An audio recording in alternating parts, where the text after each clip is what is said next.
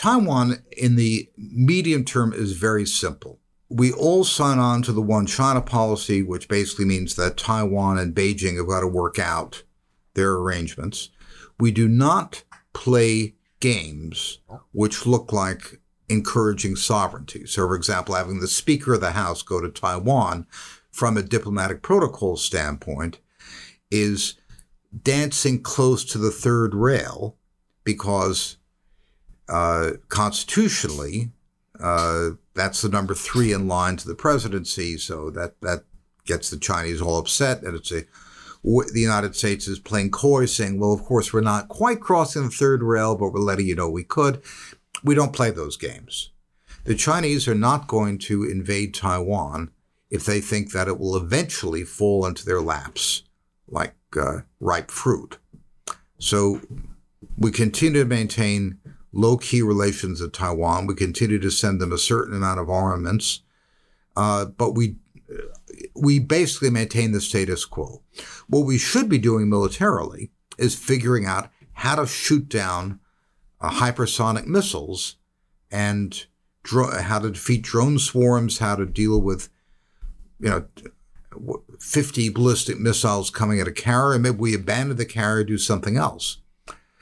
The problem I have is that, you know, when, when Bridge Colby and other people worry about how many 150 millimeter shells we have to send Taiwan because of all the stuff we've given to Ukraine. I think that's just the wrong way to think about it entirely. You can't defend Taiwan with conventional military technology.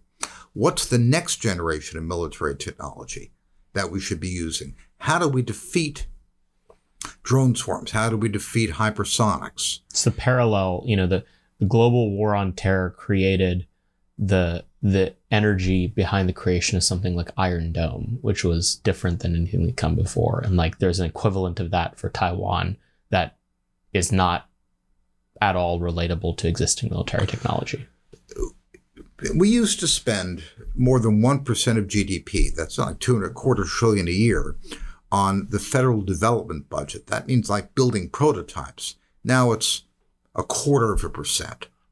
That's the problem. I'm an old Reagan hawk. I, I believe in peace through strength.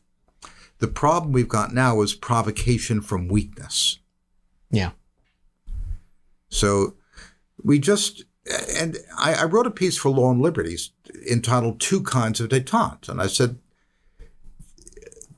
Nixon was right to pursue detente in the early 1970s because we couldn't win a war again with the Russians in the Central Front. They were too powerful. So the right thing to do was pull back, uh, stall for time, and build new kinds of weapons. That's what we did. We invented the digital age in weaponry. Smart weapons, uh, new, the modern avionics, all these things came out of the 1970s and 1980s. And then we won the Cold War. I want to be military, militarily stronger than China. But I think a lot of what comes out of Washington is braggadocio from a military establishment that's been building the wrong kinds of weapons to fight a China that exists 20 years ago and is covering a that's my that that's my reading of the quality of the debate.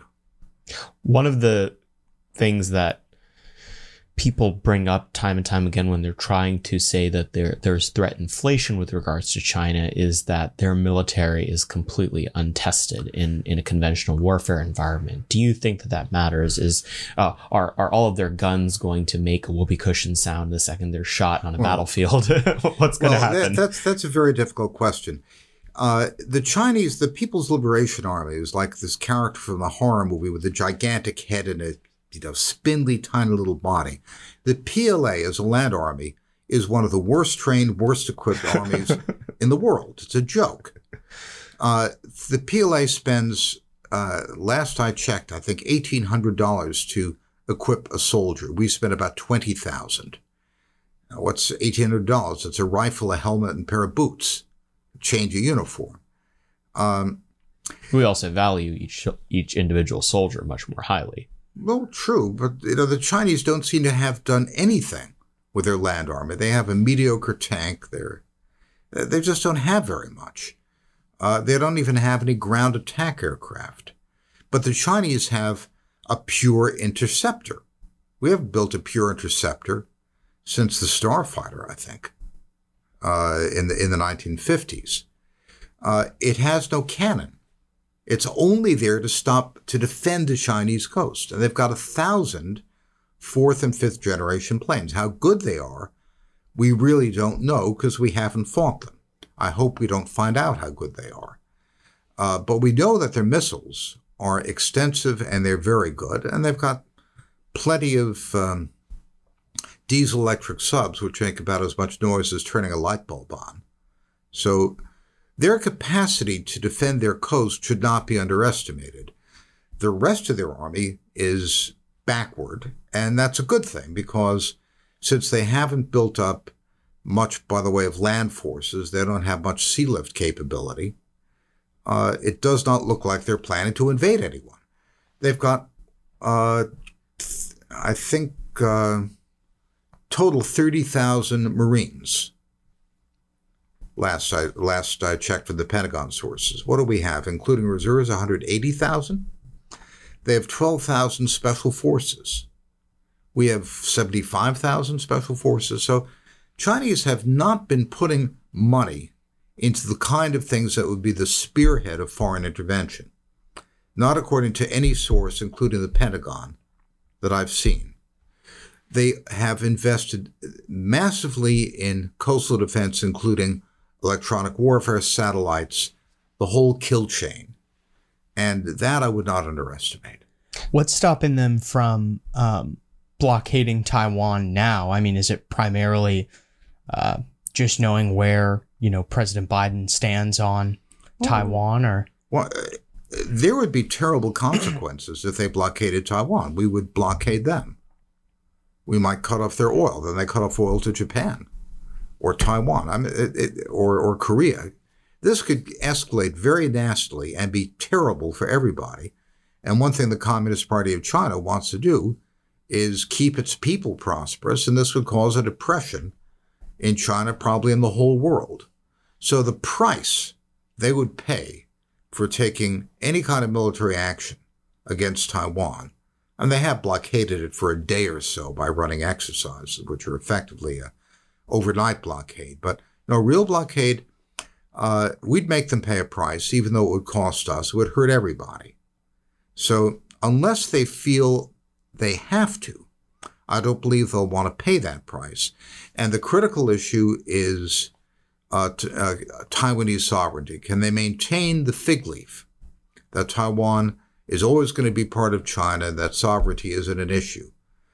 Uh, the trick for everybody is simply to leave that off the table and let us do what Reagan and, in fact, Jimmy Carter before him did rebuild our military technology.